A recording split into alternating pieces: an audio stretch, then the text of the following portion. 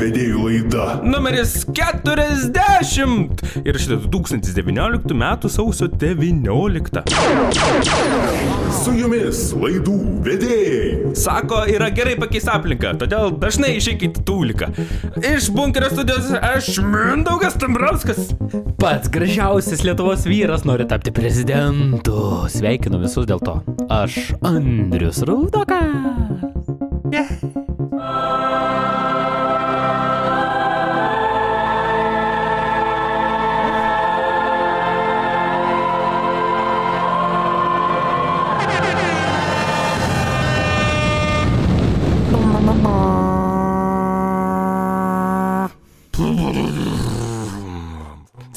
Sveikinam visus.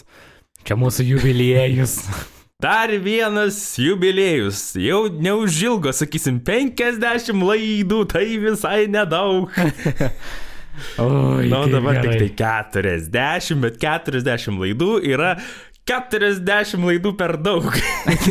Tikrai daugiau negu mes tikėjomės iš pat pradžių. Oh. Tu teisus, Mindaugai. Bet už tai sveiki visi. Sveiki visi laidų vedėjų laidos klausytojai. Ir klausytojų. Ir klausytojai. O jeigu tu esi būtent kažkuris iš tų, būtinai palaikink mūsų laidą Kur Facebook'e. tai galima padaryti, Andriau? Facebook'e būtinai mus palaikinti. Jeigu įrašysim laidų vedėjai, rasim, Rasim, žinok, ne, nu tikriausiai, aš bent jau turėtumėt. Jeigu įrašysiu laidų vedėjai, nu tarkim, į YouTube, ką aš ten rasiu? Iš pradžių rasi Andrių Tapiną, bet niek nekreip dėmesio. Mes, Laikinkit, subscribinkit mus. mes kaip tik po jo 64 puslapyje. Ieškokite kumščio su laidu. Arba su lakricos gabalu. Čia kaip kas, ką nori. Jeigu Nu kurgi kas- dar? Jeigu tu, tu turi ausinės ir jos veikia, ir netgi turi telefoną, į kurį jos įsikiša, Jo, tai čia ne iPhone'as. tai čia ne iPhone'as, tai tu turi būtinai mus klausyti per... Spotify! Pataivas, tokiu smūgiu. Čia. Nepatinkėkit, įsijunkit Spotify ir mūsų paklausykit. Nu, ką čia dar galim paspaminti? Ai, žinai, mūsų promauterė mūsų visada prašo paspaminti Instagram. Instagram. Ten kartais mes įdedam nuotrauką, kaip verdam sriubą, Arba kaip neverdam sriubą. arba kaip dar kokią durnystę darom. Nu, žodžiu, bandom palaikyti ryšį su jumis, bet, nu, ten jūsų labai daugėja kažkaip tai, aš nežinau, ar jūsų laidų vedėjų laidos klausytojai, ar šiaip kažkokių tai žmonių, kurie Follow me, follow you. Jo, nes tos uh, influencerės mūsų taktikos man nežinomos ir neaiškios. Bet man patinka, man patinka ir tikiuosi, kad ten patiktų ir jum. Tai aplankykit mus ir pamylėkit. Oi, pamylėti. Taip, nu ir aišku, internete laidų vidėjai.eu šimtą metų ten jau, kaip sakant, nusistovėjusi tvarka, bet tai, e, kaip čia galim sakyti, galit paklausyti kai kurių mūsų laidų archyvą. Kai kurių. Čia, čia kaip LRT mediateka, kuris susprogo 2018 metais. Ir nieks jos dar nepataisė. kada nors, kada nors. Nu tai, Andriau, Bet, bet kadangi dabar tokia jubiliejinė proga, tokia galvojam, graži diena, tokia šventė visai jau. tai mes galvojam, kad jau, nu, jau jum nuo mūsų bloga ir štai jum parekomenduosim kelioninį krepšį. Jo, kaip sakai, pakeisti aplinką, na aišku, uh, neblogai, neblogai. Iš, kaip to kelionės, Andriu, šiaip patinka, aš jaučiu, kad patinka. Nu, man žinok, patenka. Nes jeigu tu tiek daug važinėjai ir tau nepatinka, tai kad tu labai mazochistas. Man tas irgi patinka. nu, gerai, spank me if you want to. Pretty please. Nu, jo, botagėlių laksto, čia viskas ant žodžių. Nu, man irgi labai patinka kelionės, bet per šitas kelionės, kurias mes esame apturėję, kartu ir ne kartu, esame pastebėję kelis dalykus, ne? Nu, Tokius protip galim pasidalinti. Vat šiandien tą ir norim padaryti. Norim pabandyti, pabandyti. Jo, aišku, nu, kiekvieną kartą mūsų laidos ne, nėra, žinai, kaip Wikipedijos straipsnis, išsamus iki pat padugno. Kiekvien, Bet, nu, kiekvienas vis tiek turim savo prisitaikyti. Jo. Pasidomėkite dar po to, visokių pilna, pilna ten visokiausių yra patarimų, visokių tai technikų, kaip ten ką daryti. Bet aišku, čia dabar mes norime apie savo papasakoti, savo tokius mintis, ne, ir, ir kaip mes darom, ir ką mes jum patartume daryti, ir kaip patys gal norėtume geriau daryti, keliaujant, pasiruošti ir kaip ten ką viską daryti. Nu, aišku, ta kelionė, viskas prasideda nuo to. Apie tą krepšį kalbant. Kokio dydžio ta kelionė? Jo. Kur važiuoji, kiek laiko važiuoji Ir kas ten per ir kam kelionę? ten važiuoji. Jo. Ar Nes pat, tai paturistaut? Jo, paturistaut ar koks nors biznis tripas, kur aš dar niekad neturėjau, bet nu vis tiek. Yra skirtingų, žinai. Gal tu į Oskarus važiuoji, vat laidų vedėjai važiuotų į Oskarus, atsimt savo, žinai, gremi statulėlės ar ten, žinai, metų šūdo apdovanojimą. tai reikėtų visai, visai kitaip šūdo. apsirengti. Tu šūda, o čia tai būtų. Tai čia, čia taip didžiuočiau su tokiu. Minios ploja. Laidų vedėjai. Metų šūdas, metų šūdas.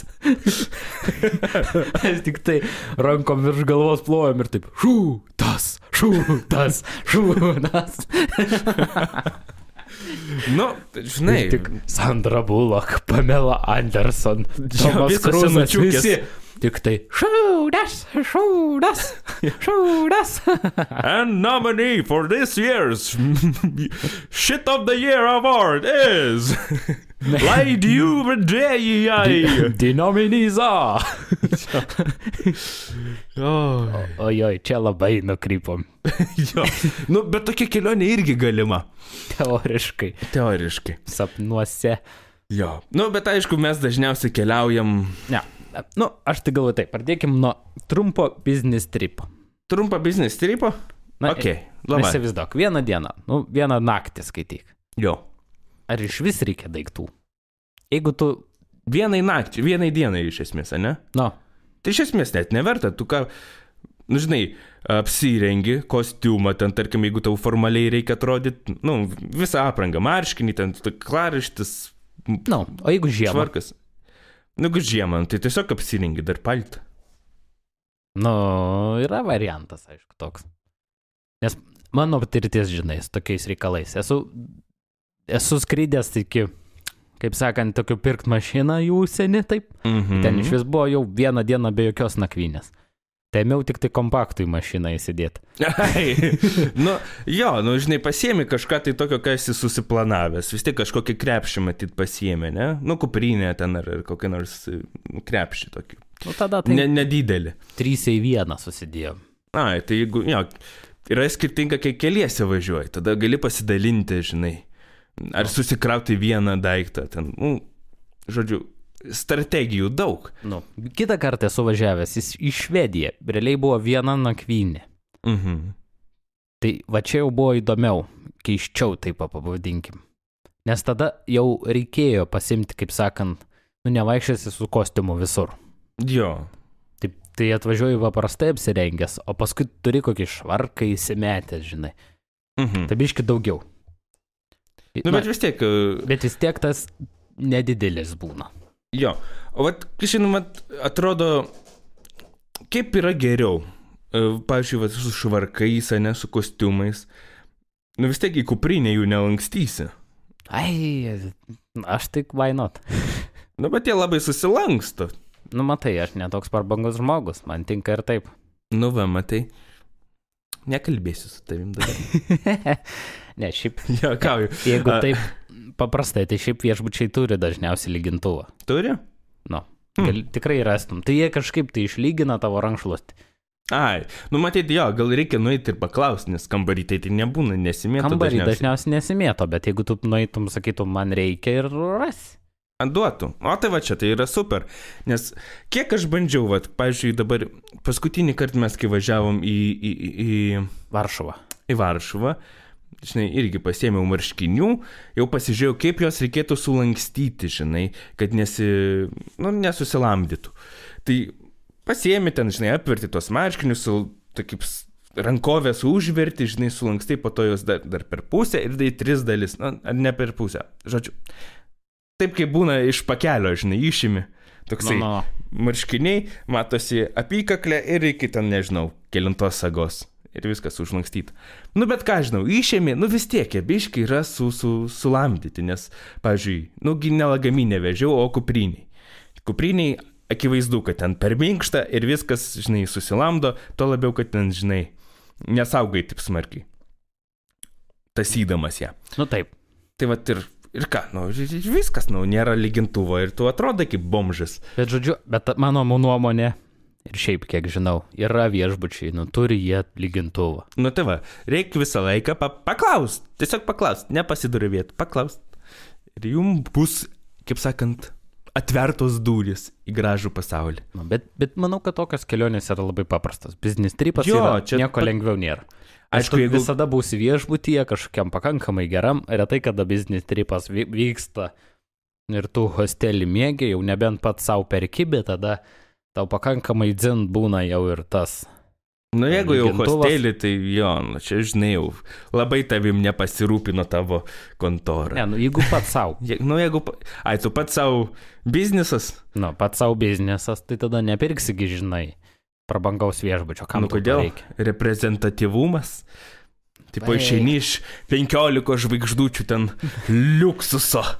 Tipo, Allah resident. Nu, iš dangaus nusileidė, žinai, nu, užsigalo kietas bičias, nors paskutinės babkės išleido. Nu, matai, retai kada būna prie vieš, viešbučio pasitinka, bent jau man taip nebuvo dar. Nedariau niekada. Nu, matai, dažniausiai, jeigu kokia nors rimta ne įmonė, tai, nu, net tu pats ant savęs, tai tada jau siunčiai geresnį viešbutį. Ir aišku, o, pažiūrėjau, kelionė, ne, pažiūrėjau, tokia, va, biznis tripas, bet, nu, kokiu savaitės ilgio. Ką tada reikėtų dėtis? Gyvienų batų jau nebeužteks, prasmirs, kaip biznisui. Reikia kelis dėtis. Nemanau, kad prasmirs. Baigtų, tai kodėl jie turi prasmirs? Ne, nu tada. ne, žinai, jokauju, kad prasmirs, bet, žinai, vieni tokie oficialūs, tarkim, juodi Oksfordai, kiti ten pasiemi kokius nors tokius labiau, nu, išeiti į barą. Ne, nu tai tu ir, tai dažniausiai, pavyzdžiui, aš, aš bent jau kaip suprantu, tai tu įimi vieną, mm, atvažiuoji su vienais tokiais casual pusiau, Nu, tokiais paprastais, kaip sakant, būtiniais, nekėdais, žinai. Ne, Kėdais. nekėdais, yra ir šiaip gražių batų. Normaliais Paprastų. atvarai, žinai. Ir pasiemi, jeigu tu jau ten kostiuminis vyras, tai tau reikia lakierko. Nu, Nu ir va, dviejai batai realiai. Su Mm. vienais vaikštai, kitus pasidėjęs. prisidedi kaklaraiščių, prisidedi. Ir gerti tai irgi nebūtina iš tikrųjų. Nu, Marškinių žinai- tik reikia keletą įsimest. Nu, matai, čia tavo biznis aprangos standartai labai žymi. Ne, Tiek nu, būna, tipo- kai visą uniformą reikia būtinai kaklašti, reikia tą mėlyno švarko, reikia, kad būtų su tais kaip čia tie. Sąsagom. Sąsagom, jo marškiniai, kad ten būtum, žinai, visas išlakuotas, iščiūstytas, nes ateini aibėjimo reprezentatuota tie, tie, tie, tie, tie, tie, tą. Nu, čia nebent yra standartai tokie. žinai. Jo. Bet a, kiek pas mane yra buvę irgi atvarę iš ten keletą dienų gyja būna, danai visokie. Mhm. Tai niekada nebuvo dar taip, kad jis, nu, taip, bent aš netkreipiau dėmesio, kad jis būtų kažkaip ypatingai atrodytų. Nu, Jis jo. dažnai būna, ne, jokio kaklaraiščio neturi, jis prasisegęs dar viršutinę sagą, nes blemba jau užpisa. Mhm. Nu, ja, čia Vaikšto. matai, yra skirtingi, tai irgi jo, ten skirtingas, pažiūrėjau, profesijos, kas ten keliauja, žinai, visokie vadybininkai, ne, tai jiem ale gal privalu ten atrodyti gerai, bet kokia inžinierė marana, tai atvažiuoja su maikutė, I love beer ir čiki briki. Yra tas. Ir, ir netgi žinai, kas yra įdomu. Su biznis tripais ir kelioniniais krepšiais, kaip sakant. Tikrai pas, papras, pas vadybininką bi- krepšys yra didesnis negu pas aukšt, dar aukštesnio rango. Tas, Mhm. kur jau direktorius ir panašiai.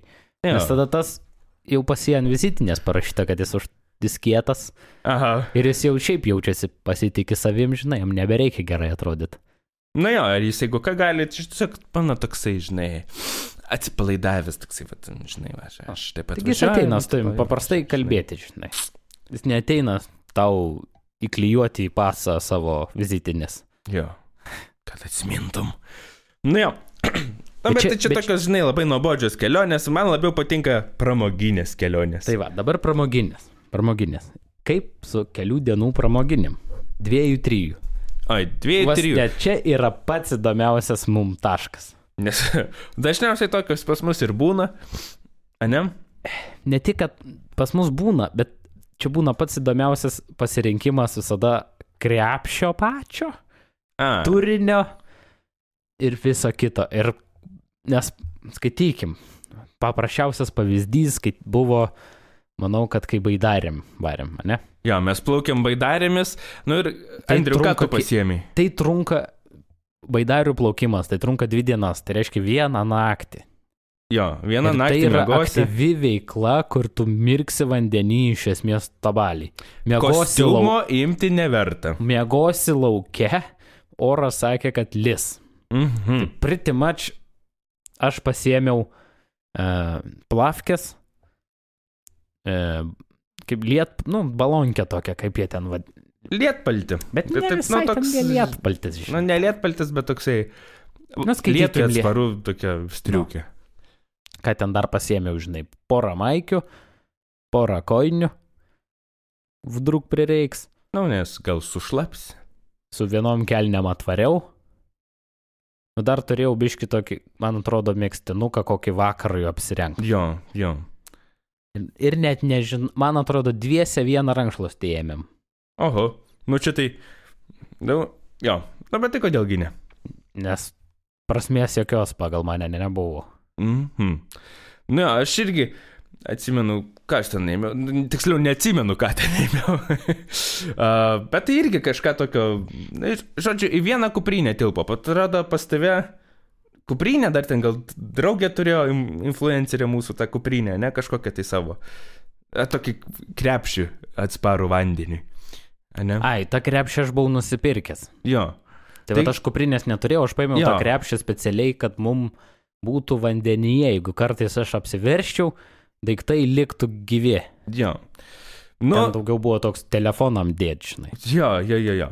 Bet tai kažkas tokio, ne, neėmė jokių lagaminų, neėmė jokių ten, žinai, visos pilnos bagažinės uh, krepšių, žinai, kad ten... Ne, nu, neskaitant tų, ko mums prireiks paskui, nu, mėgmaišis ten palapinė. Ne, čia tokia jau apgyvendinimo, bet ta prasme, tokia nu, kelioniniai. bet, bet šiaip realiai mes, pavyzdžiui, aš atsimenu, nu, tiek aš, tu ir, ir, ir draugė mano, mes ėmėm taip paprastai, žinai, nes tu su, man atrodė bent jau, man, asmeninė Mhm. mano nuomonė, kad kur tu esi, nu, tu tikrai čia nė- nėra nei ko puoštis, bus Ne, šlapia, šalta, tai priti man išspręsk šitas problemas, kad nebūtų šalta ir šlapia. Jo, turėk pasikeisti į sausą drabužį ir kad nebūtų šalta kažką šilto apsirengti. Nu, Viskas. ir žinai, kad bus sportinė veikla iš esmės visą laiką, tai tau reikia, kad būtų patogu.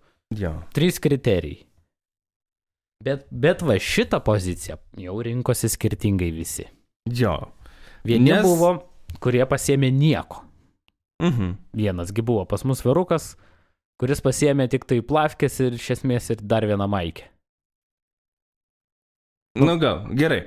Skai, nu, čia, čia, čia vienas ekstremumas, o kitas ekstremumas kai lagaminą pasėmė. visą lagaminą. Ir ką ten įsidėti, man tokia net e, įdomu pasidarė. Ką ten jau tokio prisikraut galima.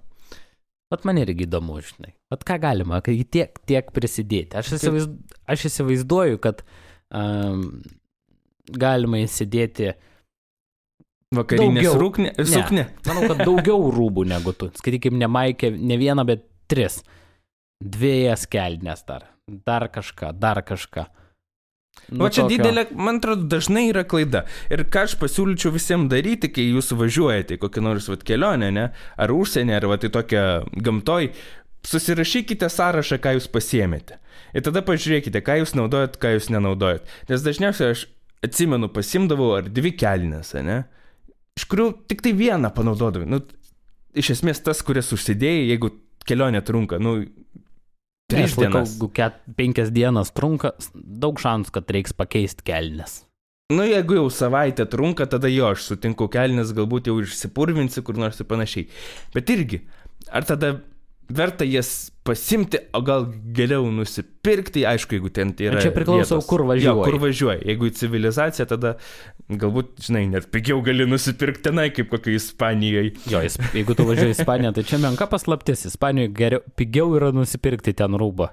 Jo, negu vežtis iš namų, kyba prireiks. Va su Maikiam, tai aš sutinku, žinai, kad ir trim dienom važiuoti, pasiemi vos ne Maikę kiekvienai dienai. Nes čia jau matai, eina prakaitukas tavo. Jo. Aišku, vėl žiema vasara. Na, kad ir žiema, tu apsirengi baisiai šiltai, nueini kokį prekybcentrį ir sukaisti. Nu tai jau, žinai, bus funky. Nu, nebūtinai, žinok, čia jau mes skirtingai iš tose vietose prakaituojam. Aš Ne, ir dvi jo, dienas yra skirtingų žmonių, gal yra drėža žmonių, kurie iš viso neprakaituoja. Zakemburgas. ir Hillary Clinton. Na, bet tai žodžiu, čia jau nuo, jūsų priklauso, todėl ir patys darykite sąrašiuką ir žiūrėkit, ką sunaudojat, ką nesunaudojat. Taip galite optimizuoti savo krepšius. Nes aš manau vis tiek verta važiuoti su kuo mažiau daiktų. Ar sutinki su Oi, manimi? visą laiką, nes net jeigu tu ten pamatai kažką faino, norėtum pasimti. Jeigu tu sakai taip, tai kam tau tos buvo kelnes vienas, kurios Jo. dabar užima vietą ir trukdo tau pasimti. Jo, jeigu pamatai bonkę, sakai taip, ir- o ten kelnes. Nu, tai visai ne faina. jo, nes e, dar ką norėjau pasakyti, e, paklausti vis, ne, e, kuprinė ar krepšys ar lagaminas, kas tau labiau prie širdies? Dažniausiai vaikštau su kuprinė keliauju. Bet, bet, aš manau, kad lagaminas yra protingesnė mintis.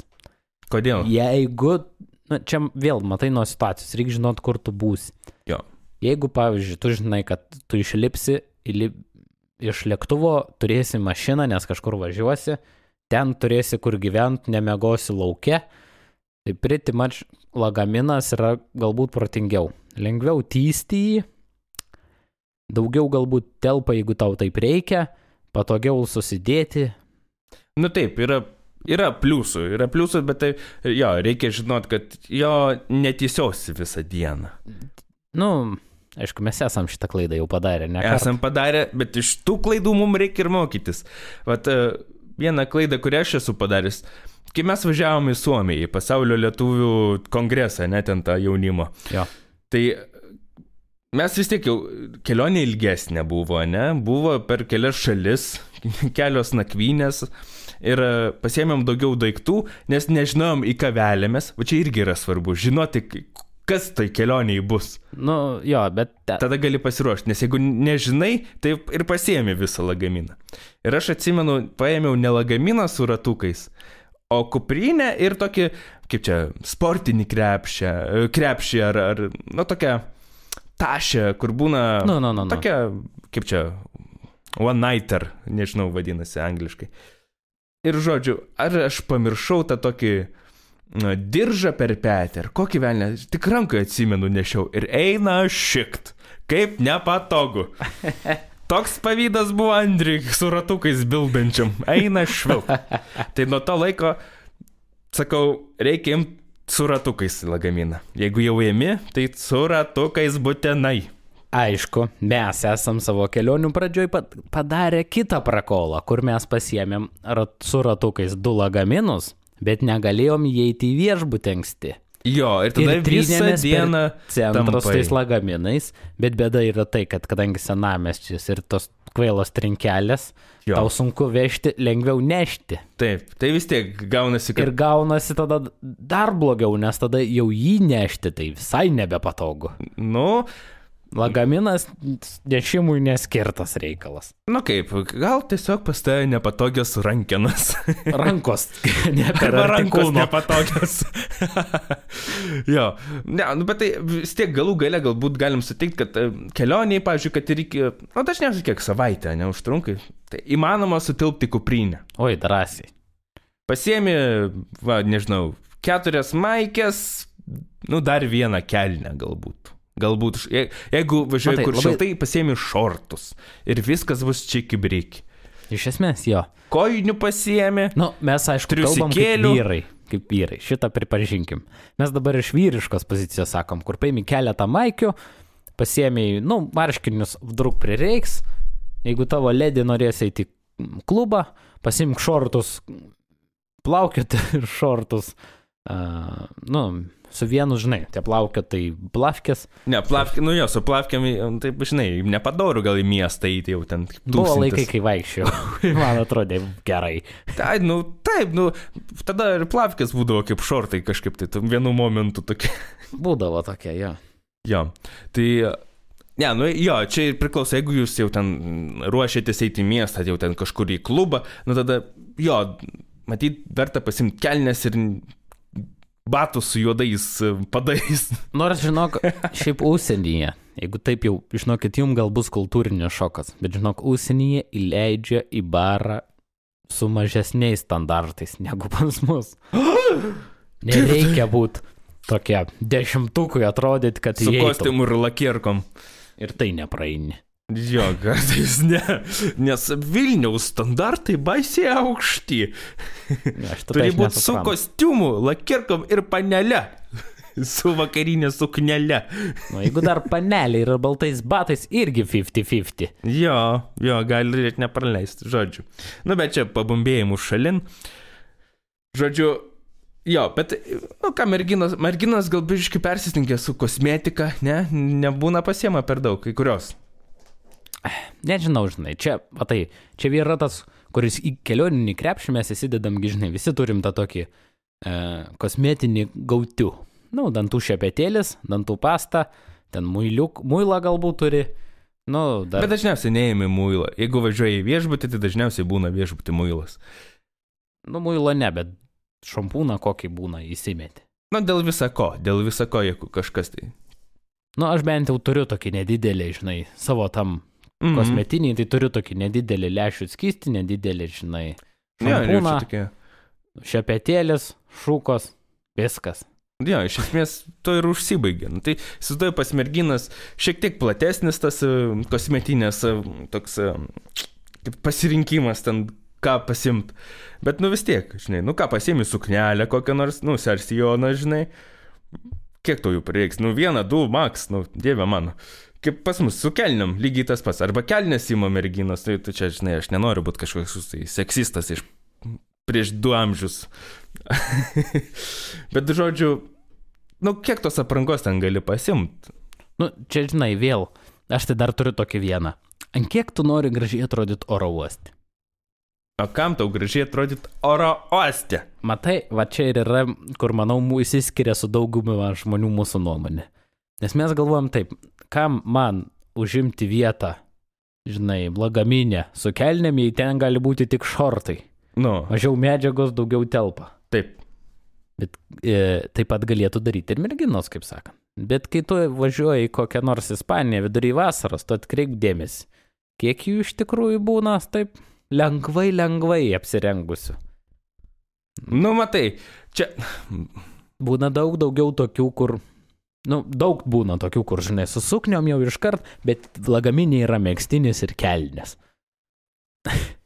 Nors mėgstinis šiaip dažniausiai nereikalingas. Žinokit, vasarą keliaujant beveik niekad nereikia. Vasarą keliaujant mėgstinio, nu, čia jau, žinai, labai retais atvejais. Dažniausiai geriau pasimti kokią striukę. Nes jeigu pradės lyti, tada va, striukė yra geriau, jeigu neperšlampama ar ten kas nors tokio. Nu, nors dabar galvoju, kai Švediją variau, man reikėjo mėgstinio. Ne, nu, tai tu važiuoji į šiaurę. Žodžiu, ką noriu pasakyti. Svarbu žinot, kur važiuoja, ne? Jeigu važiuoji į dykumą ar važiuoji į Suomiją, skirtingai reiks apsirengti. Net nu. jeigu ir vasara. Jo, Jeigu važiuoji prie jūros, jeigu važiuoji į Londoną, irgi skirtingai reikia apsirengti. būtent, jeigu tu važiuoji e, užsimti, pavyzdžiui, žygiais ir jeigu tu važiuoji užsimti klubinę veiklą, tau reikės vėl labai skirtingo. Taip. Bet viską reikėtų stengtis pasimti tik tai, ko reikia. Nu. Ir uh, bandyti keliauti kuo su lengvesnė, kaip sakė, lengvesniu kroviniu, nes labai užknisat, tasyti labai sunkius krepšius. Ir kuprinės, įskausta pečiai, rankos pavarksta. O jeigu dar yra mergina, kaip sakant, tavo Tai repertuare. reiks nešti už tris. už tris. čia matai, čia daugiau šita tema net nėra uh, skirta vyram.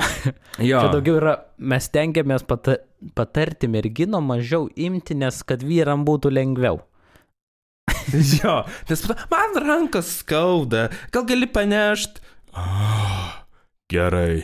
Ne, nu, net ne, neturi pasirinkimo. Nu, net neklausė, ar gali Imk, panešti. nešk. Tiesiog imk. Panešk.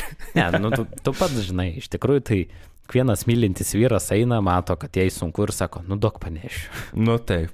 Taip. Ir tada tu supranti, kad nu, tu, tas daug panešiu tau kainuoja daug daugiau jėgų. Nu. Nu, bet, hm, gal taip darant, aišku, čia, žinai, gali sudaužyti tau tau spaus širdį tiesiog iš skausmo, bet kaip kitaip jį pasimokys, kad nekraut visų lūpdažių į tą sušiktą rankinuką. Nu nežinau. Mano asmeninė patirtim, aš tai apibrėžiu lagamino dydžiu savo merginos vatavą, kiek jinai Mhm. pasims, jeigu duodi mažesnę tašę ir sakai, čia turi tilpti. Tilpt, jo, ir tavo bėdos. Viskas. Ir tada, žinok, tai pasiteisina, kol kas bent jau tai eina. Nes dažniausiai telpa, neviršė limitų, nėra taip sunku nešti, jeigu ypač taip pat duodi kuprinę. Mhm. Nes, man atrodo, kuprinė yra toks universaliausias. Jau net ir ar į miestą eini, ar į žygį. Jeigu telpi į kuprinę, tai jau tada iš esmės bėdų nebūna. Užsidedi ant kupros ir varai savo. Nu, jo, iš esmės tu teisus, žinai. Kuprinė yra universaliausias reikalas. Aišku, galbūt nėra tos apsaugos, kad ten su, nesusilamdys drabužiai ir panašiai, bet, nu, jau kaip nors gali išsispręsti tai. čia vėliau. Žinai, nu, išsispręs, jeigu tau taip jau reikia, bet jeigu tu turistas, Jo, jūs atkreipkite dėmesį, kaip vaikšto vokiečių turistai. Va, visur. norėjau sakyti, žinai, tos besišypsančios babutės ir dedukai, kur matosi iš užsienio ir su pinigais atvažiuoja. Jos vaikšto, žinai, vaikšto su, su sandalais, Su tais balonkiam. balonkiam taip, kad būtų patogu eiti. Jiem neįdomu, viskas kaip aš patog- atrodau. Būtent. Nu ir čia ir turėtų būti tas toksai, jeigu tu atvažiuoji kaip turistas, va, kad eit, apžiūrėti ir panašiai, tu turi jaustis patogiai. Būtent. Ir jau kaip tu atrodai, iš, žinokit, niekam neįdomu, kaip jūs atrodot. Pavyzdžiui, ar jūs prisimenat kurį nors žmogų iš gatvės, va dabar, va, žinai, jis atrodė baisiai. Nu, neprisimeni to. Ne, tu atsimeni tuos, kurie atrodo ekstravagantiškai. Nėra Čia tikrai. faktas. Nu, yra tokių, kur Ne, atsimeni. nusiprašiau su penkia, penkiametrinė afro, kas nors ateitų, nu tai jo, tai jau tu atsimintum. Ne, nu tu atsimeni ir taip pat, jeigu taip, nu gerai, šiandien aš nejau per gatvę, bet, bet iš esmės tai tu atsimeni, dažnai eidamas, vat, pavyzdžiui, jeigu labai toks geras išskirtinis buvo žmogus, tai atsimeni. Nu galima, pavyzdžiui, Min... atsiminti. Skaitykim, su, su dredais iki šiknos ir visi dredai kaip vaivorykštė nuspalvinti. Nu, bet čia matyti irgi jau tu turi, m, žinai, pavyzdžiui, su dredais, ne? Tai, pavyzdžiui, gal tau aktualu, dėl to tu jį įsimeni. Aš, pavyzdžiui, gal tokio net neprisimenu.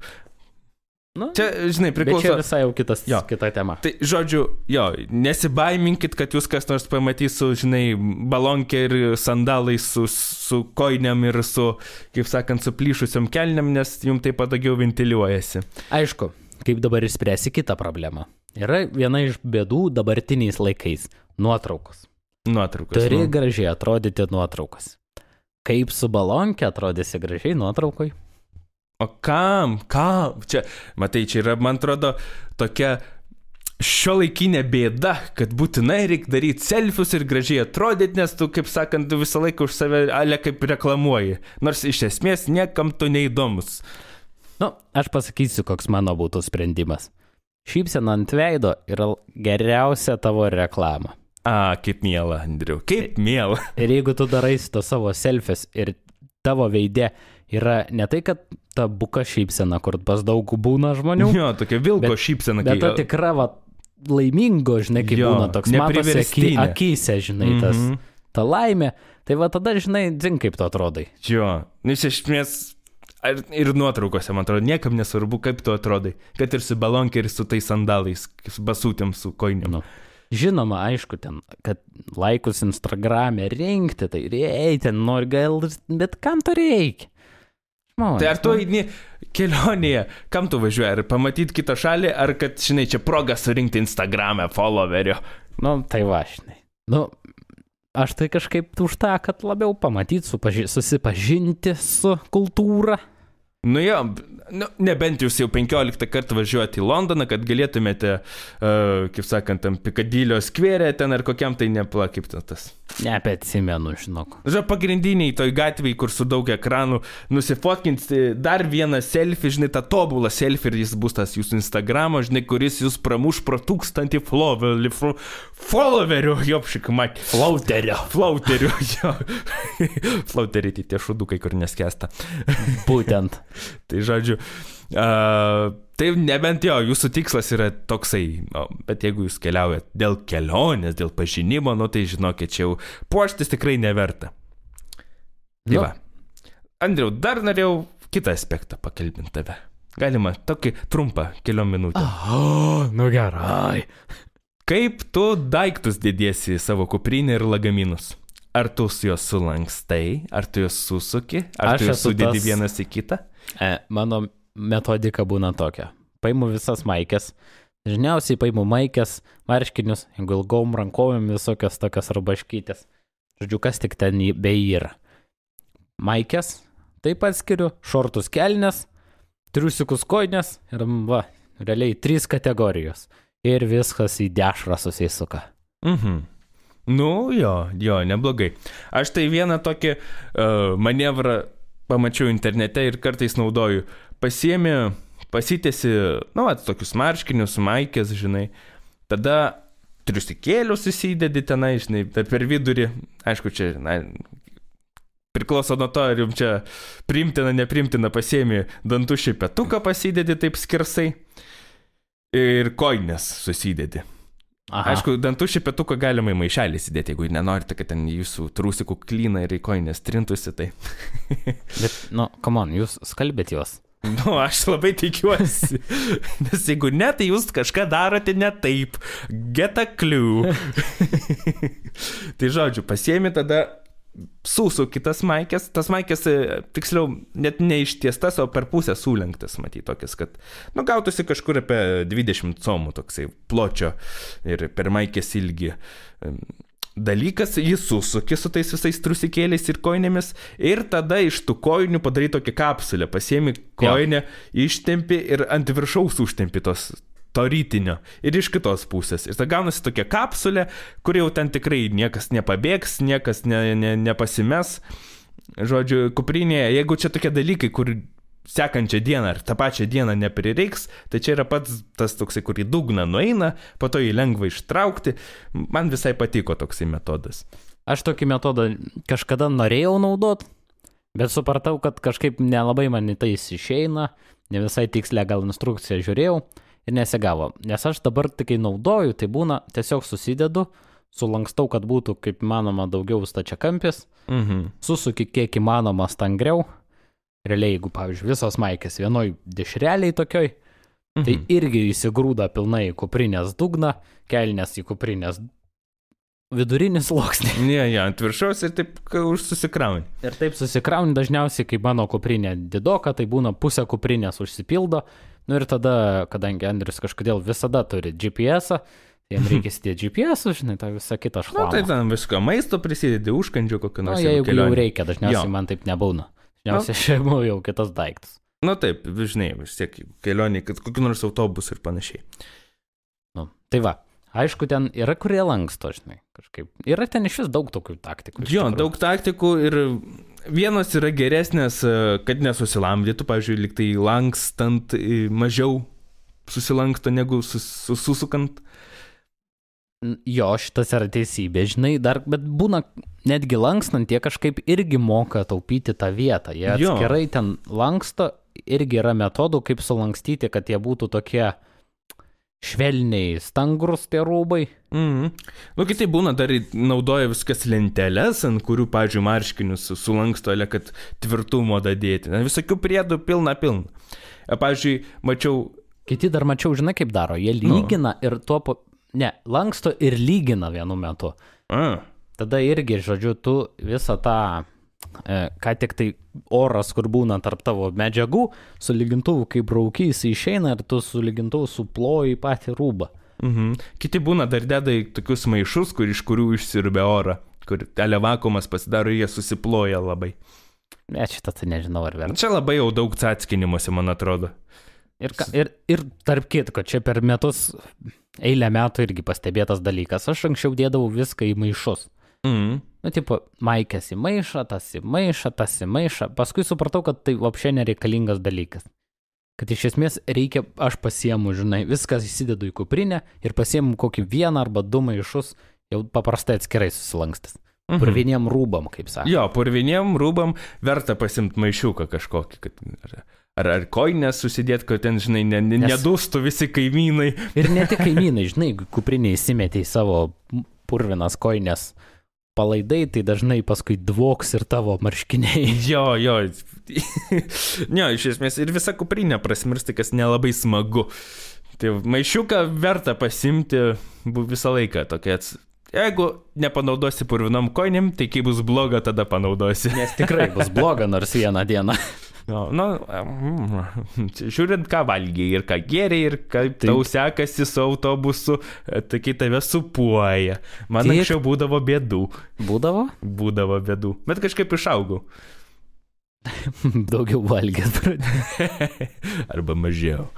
Iš ryto bandelė, bandelė, bandelė. Ir užkiam, užkiamši ir nebepraeina nieks. Arba, jo, čia irgi. Čia bet jau kitai temai, man atrodo, taktika. Tokia tema. Kaip yra taktikas. dar minaugėlė su daiktais, kurių dar reikia be rūbų. Skaitykim, vat kaip aš paliečiau GPS, -as. Aha. šveicariškas peilis galbūt, pakrovėjai, ausinės, kortos, uno, ne uno. Nu, čia irgi priklauso, kaip važiuojate. Kokio kelioniai ir su kuo. Jeigu važiuojate su draugais, galite neimti ausinių, bet pasimkit kortas. Būtinai. Būtinai, kortos, tai aš pas mane visą laiką būna kortos. Ačiū Dievui. Nes, nu, jeigu labai jau nepasiseka, pavyzdžiui, užstringate oro uoste ar kažką, nu, tai jau prastumsite laiką žaisdami kortas, jeigu jau viską būsite išnekėję ir nieko daugiau negalima veikti, žinai, tokio. Uh, ir apskritai, nu, žinai, ką veikti gerint vakarais. tai va. Ne, nu, tai vad, kortos yra būtinas dalykas. Kaip dėl šveicariškų peiliukų? Jeigu skrendate lėktuvu, palikite Neimti. namus. Arba jeigu, pla, a, Į bagažą galima. jo, į bagažą galima dėti, ne? Jo, ten, Jo, kur į tokius- lėktuvo dugną, tas, kas nesupranta dar, nu, tie, kur iš pradžių tu priduodi. Jo, kur dėdė ant svarstyklių ir tai nuveža. Į Nu, ten. nes ten, kur daro pip, pip ir su metalu, tik ten nepraeis. Ne, ten tikrai. Nu, girdėjau būna, prasineša, žinai, ten kažkaip, nu, gal nepamato, bet čia jau sėkmės toksai dalykas, jau tokia teleloto loterija, kad... Nu, Aš kažkada mačiau, žodžiu, skrido tuo pačiu lėktuvu ar, ar bendrai pro patį krają, žodžiu, į kirpėjų čempionatą, žinai.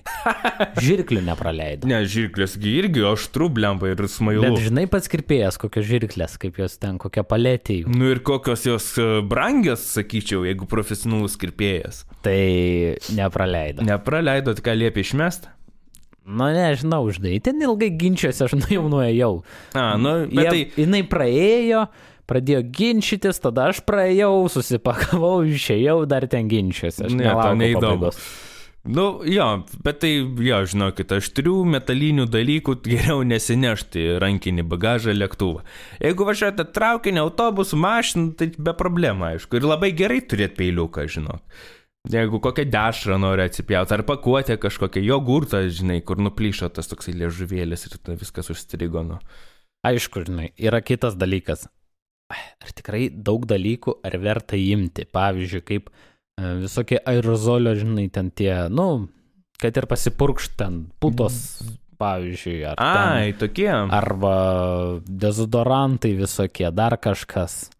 Nu, būna va tokie, va, Būna kelioniniai. krepšiukai, ne, kur daug vietos neužima. Nu. Bet vis tiek, nu, svoris, žinai, panašiai, nu, tai toksai... Be, Ar tikrai daž- verta? Dažnai būna, uh, užsienyje galima nusipirkti, nusipirks kažką, nu, nu Bulgariškos dantų pastos. Jo labiau, Pabandysi, gal negali patiks. būti čiu, čiu atviresnis. Čia kaip sakant, kai tu važiuoji į kelionę, ar tau pabandyti vietinį maistą yra ok ar ne ok? Nu, dažniausiai jok, taigi tam ir važiuoji iš esmės. Tai vad, ne visiems ok. irgi gi patirtis mūsų rodo, ne visiems yra ok A, pabandyti. kiti, kiti nori, nori McDonald's. Kiti nori, kad būtų kiek įmanoma tau, jam, tai, kas jam patinka, žinai. Čia ir kas irgi yra normalu, kad valgo tai, kas jam patinka, žinai, o ne tai, kas ten yra. Nu, galbūt taip, bet vis tiek, nu, žinai, tokią progą atvažiavai kažkur tai į užsienį, nu, tai reikia pabandyti to nu, užsienio, žinai, paragauti. tai bet vat- galbūt jo, filosofijos žmonių skiriasi. Tai vad, kadangi čia skiriasi, tai žinai, tai aišku, gali būti atviresni savo ir nusipirkti kitokį ten dezodorantą. Tenai vietinį, kitokį Jo. šampūną, kitokį, nežinau, ten dar dantų pastą, kas ten dar būna, žinai, tarp tokių. Jo, o jeigu važiuojate su draugais, tai iš viso paprašykite, ja, tikrai duos. Man, na, jeigu tu tik turėkite savo dantų šepetuką. Bet, dantų pavyzdžiui, pastos paskolins ir, ir šampūną duos ir dar, jeigu jie pasiemė, tai jau jūs nepasiemė, tai dažniausiai jau jeigu draugai, tai duoda. Nu, paskui dar yra, vad, užkrito. Kas Mintis. užkrito? Mintis užkrito. Nu tai pasilenk ir pakelk. Lenkės ir pakelia. Ne, ką aš noriu pasakyti dar, kad dažniausiai vis tiek. Aišku, čia priklauso nuo jūsų standartų hygienos, bet, pavyzdžiui, dezodorantai ir panašiai. Ar tikrai reikalingi kelioniai? Aišku, galbūt jeigu biznes tripas, nu tada jo, tu turi atrodyti gražiai pasikvėpinės, žinai, čia reikia. Galbūt. Bet jeigu tokia pasivaikščiojimų kelionė, nu tai kas jį suprakaituosi? Natūralu, kad suprakaituosi. Nu po to vakarė nusiplausi ir vėl bus gerai. Nu, taip. Yra teisybė, žinai, ką tu sakai. Yra teisybė. Nu nebent labai draugai keikės ir sako, nu tu ir smirdi, eik tu švilpt. Ne, bet vis tiek aš galvoju, gali vietinį nusipirkti. Jo, bet kokiu, be problemų. Ir gali didesnį nusipirkti ir nėra jie tokie brangus tie tokie visokie, kad ir skutimusi putos, koks nors nedidukas, žinai, ne, flakonėlis.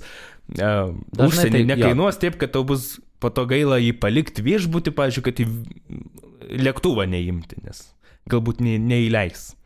Na, aišku, žinai, čia vėl kaip visada būna žmonių, kurie labai aukštais standartais ir jiem netinka pigus ten šampūnas, jiem reikia, kad būtų extra natural. Jo, jo, Anyžius, veganiškas. ten. anyžius skonio. Jo, jo, jo. Nu, ne, bet, jo. Jeigu jūs esate toks žmogus, nu, tada taip. Bet jūs susikeliat savo problemų daugiau. Jūs e, tada, štai kaip. Vis tiek, nu tada jau, matyt, čia daugiau krausis, gražiau norės atrodyti, panašiai, tai visą lagaminą temsis, kol tu gali, žinai, kitas žmogus gali su tiesiog kuprinė. Aišku, Pravaryti. žinot, visas šitas reikalas, kurį mes kalbam, yra skirtas, kad tu mažiau daiktų turėtum ir neštumės. Tai yra dėl to, nes tu staupysi pinigų lėktuvo bagažui. Nes, Nu, jo. nes much imti dar vieną lagaminą yra problema. Nu, kaip. Kai būna, žinai, 25 kg lėktuvo dugno. Jis kainuoja daug ir tai tikrai, tikrai nereikalinga. Nu, nebent tau, kaip sakant, pinigai ne problema ir čia, kaip sakant, natūralu, kad tu pasimsi ne tik dar lagaminą, bet dar tris lagaminus ir du liokajus. Nu tada prašom, prašom. Bet aš manau, jie mūsų neklauso tokie. o ką tu gali žinot, gal čia laidų vedėjų laidos, sau, sakant, e, publika, kuri ir klauso, visi prabangų žmonės. Nu, bala žino, bala žino. Jo. Tai va, žodžiu. Ką žinau, papasakojame, ne, ką imt, imt Man kuprinę. atrodo taip. Viską, žodžiu, imk, kad būtų patogiau. Jo, nes kai patogu, tada ir linksma yra būt kelioniai. Nes kai užsiknisi, tai tada neišspausi tos, žinai, žavios šypsenos Instagramui. Tai žiūrėk, kad būtų patogu, žiūrėk, kad tai tu tau būtų linksma ir malonu. Jo, nes Malonu. malonu, nes, nu, tam ir keliauja, o ne kankintis, ne vien tiesi kaip Andrius. Mazochistas. Nu tai va. Tai žodžiu, aš rekomenduoju kuprinę, pasimti viską ten susisukti, susisidėti. Dažniausiai taip man geriausiai sekasi. Uh, pasimti dantų šepetuką, matyti pastą, čia reikalingiausia, visa kita dažniausiai randu viešbutyje. Nu, Pakrovėja. Ir, jo, pakrovėja telefonui, pasą, jeigu į užsienį važiuoji. Tai tokius, žinai, svarbiausius dalykus pasimti, vaistus, jeigu naudoji. Nu ir Nu, pleistrą kokį visada praverčia pasimti. jo, pleistrą tikrai vertėtų pasimti, net jeigu ir batai nutrynė. ant tos pūslės gali užsidėti. Nors vėl, žinai, jeigu pradedi su pleistrais, pradedi paskui su nuo galvos skausmu, paskui prasideda vėl. Nusipirksi vietinį. Nu taip, Žinau, taip. kad mūsų standartai čia yra sunkiau praeina. Nu taip, Švedijoje galbūt dar sunkiau gausi kažką. Žinai, nu, vaistą kokį, alų ar panašiai. Bet daugumoje šalių, nu, tu lengviau gausi tą. Nueisi į parduotuvę, kokioj nors, žinai, čekiai sakysi, ai, galava, bum bum, ai, ai, ai. Sakys, nu gerai, tep, duos kažkokią piliulę, tu ją Antibiotikų. Koba. Tik tai super sajanų pavirsti, matai, kaip visi švyti ir gerai. Nu jo, jau laimingas. Jo, nu čia žinai, Čekijoje viena yra pirkti piliulę nuo skausmo. Amsterdame kitkas yra pirkti piliulę nuo galvos skausmo. Bet vėl, Lenkijoje tai matyt vienodai vadinasi. experiences. Nu, eini experience. dėl viso paketo, kad suvalgytum vietinį blinuką, apsitriestum nuo jo, kad tau skaudėtų galvą nuo to vietinio alaus, kad tu nutrintų batai. Taigi, va, tas ir yra atostogos, tas atostogų ir kelionės žavesys. Nu, tai Andriau, tavo paskutiniai žodžiai. E, Perinam į kitą segmentą. Taip.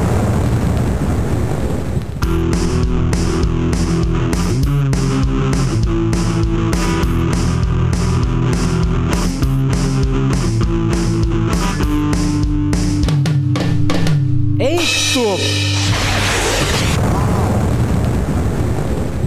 Atsiprašau, per perst norėjau. Tai nereikėjo taip garsiai prie pat mikrofono, žiūrėk, kaip dabar visą užtriukšminai. Nu, Andriau, tai kur mum važiuoti, jeigu ne užsienį? Nu, visų pirma, važiuokim į Tamstą. Tamsta? Čia toksai klubas, ne? Toks klubas Tamsta. Žodžiu, ten 24 dieną ketvirtadienį vyks Elnio rago miškas, vinilo, šamano duktė pristatymas. Wow. Tai čia. Koncertas nuo 8. E, kaina 5 eurai. Tai žodžiu, velnio elnio ragas, ar kaip ten jie vadinasi? Elnio rago miškas. Elnio rago miškas, čia tokia grupė, išleido naują albumą pavadinimu E, pavadinimu, palauk, palauk, šamano duktė. Jo, ir dabar bus pristatomasis koncertas Tamstos klube. Kilintą dieną? 24. 8 val. vakar. 8 val. vakaro. Už 5 eurus. Nu, super. Nu, gera grupė, įdomiai, va vieną dainą klausėm. Nu, tokia nebloga, nebloga. Um, tikrai galite nueiti, žinot, ką, ką čia dar veikti tokiais šaltais vakarais. Nu, aš tai turiu kitą tokį dalyką. Prancūzų kino festivalį. A ne? O, oui, oui, oui. Čia matau pasakos e, kino teatre, žinai, vat, m, bus e, sausio 25 vasario, 20, vasario 3 dienomis, tai žodžiu, nuo sausio 25 iki vasario 3, tai tikrai spėtumėt nueiti. Ir ten visokių filmų yra, žodžiu, tokių vat, net nespalvotų, yra tokių su kur vos nenoga moteris, yra dar va čia visokiausių, visokiausių. Ir, Na, aišku, žinai, prancūzų, prancūzų filmai visada būna su daug meno ir daug visko ir ten Jo. būna įspūdingi. Tai kodėlgi nenuėjus, kodėlgi nenuėjus, pasikultūrinti, man atrodo tikrai būtų įdomu. Nu, aš tau pasakysiu taip. Visų pirma, kitą vat, šeštadienį, 26 dieną. Nu, kaip tu pradėsi dabar rytą? Nu, tu negali pradėti kitaip. Žodžiu, tu jį turi pradėti 9 ryto, būtinai, būtinai. Palangoj. Mhm. Tai turi būti, vie, nu, ten viešbutis pa, palangos vietra yra. Bet ne, ne, koks skirtumas koks. Ir, nu, geriausias rytas bus, kai tu pradėsi su Viniasa Flow yoga su Loreta. nu, nu. Jo, jo, skamba, skamba daug žadančiai. Nu, tai va, žodžiu, tu užsimsi jogą ir tavo rytas bus daug geresnis. Nu, smagu, nu. Porą valandų. Pasil, pasilankstysi, jausis visas toks atsipalaidavęs, nusipirksi taip aš atpalaiduotos rankos kelionę į Dubajų ir Ir šnai, ir bus kelionė. Nu, plau, Andriu, ku- kur čia vyksta, man dar pakartok. Ten, žodžiu, buvo palangoj. Bet Pa- žinai, Palanga vietra, ne, kur ten tas viešbutis. palangos vieta. Bet žinai, aš kadangi tu jau atsipalaidavai per Na, tas aš jau visas čakras spėjau visas atsivert. čakras atvėriai. Praverti langus. tą patį šeštadienį. Nu, biški tik tai bėda ta, kad Vilnių jaučia. A, nu, Vilniaus vietroje, ne? Vilniaus kažkokioj kom- komforto hotel. Nežinau, kur jis yra. Gal ir žinau. Kauno gatvėje, žinau tada. Ai, nu, nu gerai, jo. Kas ten vyks? Vyks pasaulio, nu, angliškai vadinasi World's, World Best Models 2019 atranka Lietuvoje. Žodžiu, visos gražios merginos su Mhm. mažom krūtinėm ateis ten. Kokie dar gražios merginos? Aš ir tu ten eisim. Bet aš nesijaučiu modeliu, aš neturiu ilgų kojų ir... Ne, ir, ne, ne, ir, ne, ir... tu netaip supranti. Modelį tu labai turim, supranti kaip išvaizdą. Ne, ne, ne, ne. Mes esam modeliai intelektualiniai. Žinok, e, nemanau, kad mūsų karjera bus labai, e, kaip sakant, sėkminga. Su intelektualinis modelis. Man atrodo, nieks mūsų neims. O tik palauk, kaip, jau žinai, kai politikas eina į kažkur ir sako, aš nuo, nu, aš su vargšais, aš su jais, tai kodėl mes negalim būti, aš su jumis negražu žmonės. Pirkite mano rūbą, jūs pabaisas kaip ir aš. Nu, nežinau, nežinau. Politikas turi pinigų, mes ne. Bet mes, Čia ir turime. didžiausias skirtumas. Bet mes žaviai mirksim. Klapt. Nu, gerai, Andriu, uh, noriu to pasakyti šitaip, ne? Vyks druskininkose. Va čia mes kažkaip dabar intermiestinį tokį, tarp, tarp miestinį autobusą paleidom. Na, ala šiandien taip. Va. Žodžiu, druskininkose vyks ledo skulptūrų festivalis, ne? Dvi dienas. Sausio 26-27. Tai druskininkose šiaip visai neblogai pabūt, bet aišku, aš dažniau vasarą būnu su savo kuprinė nuvažiavęs. bet, žodžiu, dabar žiema bus tai va, 26 dieną atvažiuos visi tie menininkai profesionalai iš viso pasaulio ir skulptuos, žinai, pasiruoš 26 dieną, žodžiu, jau pradės daryti matyt. O Manai? sekančią dieną Tipo, jie manai vieną dieną daro tik tai? Aš Nu, manau, apa- kad daugiau dienų. Cituoju. Sausio 26 dieną visi susirinkusieji galės stebėti menininkų techninio pasiruošimo ir kūrybinio darbo pradžią. Sekančią dieną kūrybinį procesą bei šio proceso rezultatus - brūkšnys - ledo skulptūrų ekspozicijas išdėstytas druskininkų gydyklų parke. .com Reiškia, tu teisus. Taip. Tai vad, žodžiu, aplankykite, man atrodo, čia nemokamai, gal, nu, nes bus eksponuojama parke, tai kol orai neatšilo, tol galit pabandyti išvažiuoti. Nu, o ką čia dar galima? Aš dar norėjau tau papasakoti, Andriau, apie mūsų legendinę grupę. Rebel Heart. Štai kur tas ilgas kelias. Pakeliu į kioską. Kai Tai kramtoškis. Nu, tai žodžiu, 26 dieną sausio Brodvėjus pabė bus jų koncertas, gyvas koncertas, kartoju dar kartelį, gyvas koncertas nu, 26 dieną sausio nuo 7 vakaro. Na, Ir dar bus after partis. after Ik- parties. Jo, iki ketvirtos nakties čia viskas vyks. Įėjimas, įėjimas 7 eurai. Bet Alkoholis 3. Nu, čia nežinau, nežinau, čia kaip Brodvėjaus pabo ten ta visa tokia, um, kaip čia, meniu, žinai, kainynas koks yra, bet uh, užėjimas 7 eurai, informacija ir staliukų rezervacija yra atskiras numeris, pasižiūrėkite Facebook'o įventę arba kažkur kitur. Žodžiu, kadangi tau čia apie legendinės grupės. Jau. Žiūrėjau, eventas vadinasi Didis blogis. Didis blogis? Nu, kas gali dar turėti tokį pavadinimą? Taigi tai gali turėti tik tai vienas ir vienintelis pats pozityviausias žmogus Lietuvoje, tai yra Aleksandras Makėjevas. Ai, nu tai čia kitas šaunuolis, fainuolis. Tai vad jis rengia 26 dieną, tai yra vėl šeštadienis. Ai, tai čia 10. visą tą pačią, vis, viskas vyksta tą pačią dieną, Andriu. Viskas vyksta vieną dieną. Žodžiu, visą savaitę jūs ilsėkitės ir vieną dieną duokite. Driokstelkite, bamaks, man! Nu, žodžiu, yra ten toks uh, selfie side baras, žinai, ten Vilniaus gatvėje toks. Jo, žinau, toksai į Rusiją, Tai va, jo, tai va jisai ten vagros. Savo mm. dainas atlikidės. A šitas tai būtų įdomu. Atsiminė Andriu su Makėjevu, kur mes buvom, pala. Um, uh, Knygų, ne. knygų mūgiai galbūt. Knygų būgiai? Man at, atrodo, gal bet muzikantų salį kokie ten buvo gal. Nu, buvo ten kažkokia. Mm, buvo. Žodžiu, ir e, ten kas koncertavo, net kažkokie pokalbiai su kažkuo tai buvo. Buvo, tai tada knygų mūgiai. Jo, ir žodžiu, buvo le, tas Makėjevas, ne? Jo. Tai mes nustebom, kiek jis nedaug pardavęs e, albumų buvo tas iki. Oi, ten, ten buvo geras, kad jisai turi albumų prisispausdinęs ir po tris parduoda per mentus, žinai. Nu, tai kaip jis gyvena, aš neįsivaizduoju, šitas mūsų didysis mėnininkas.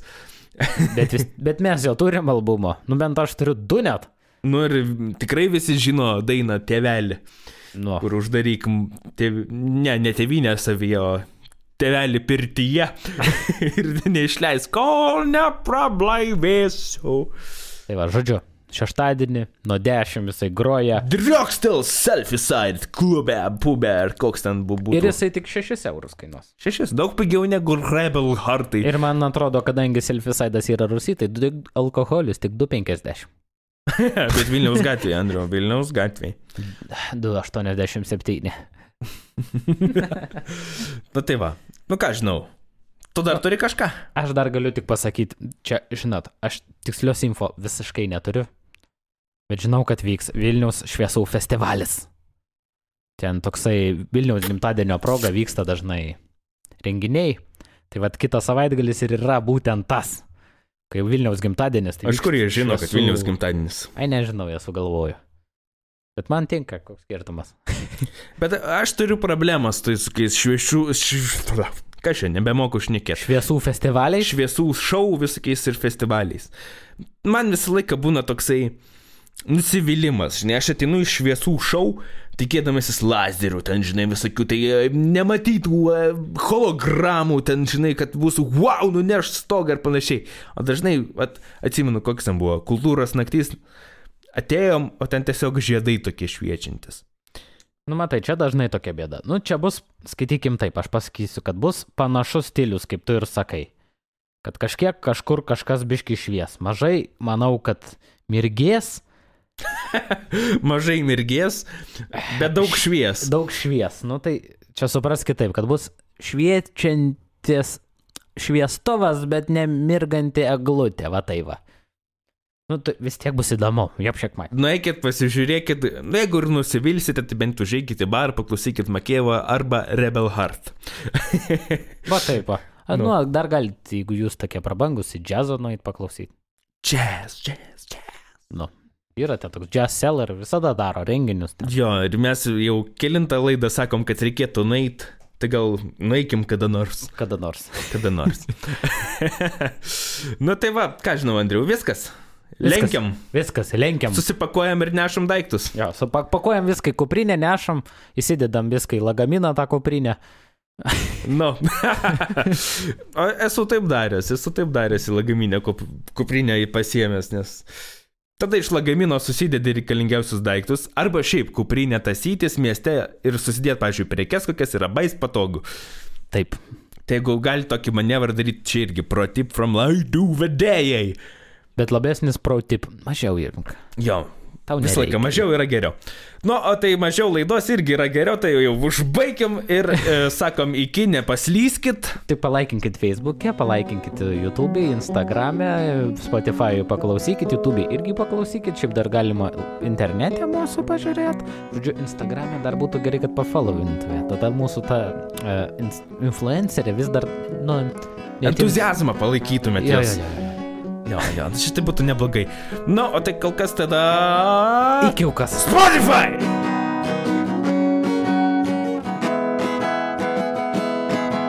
Laidų vedėjai. YouTube'as!